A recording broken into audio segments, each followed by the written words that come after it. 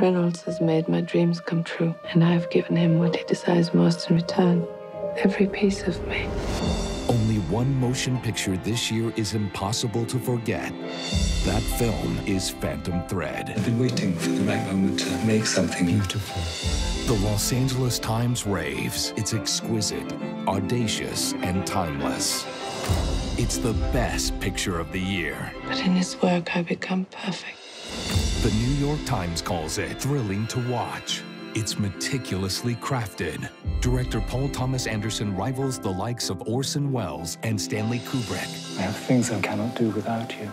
Now, Phantom Thread has been nominated for six Academy Awards, including Best Picture of the Year. I know Reynolds would be waiting for me in this life, and the next, and the next one after. Just sit back and behold.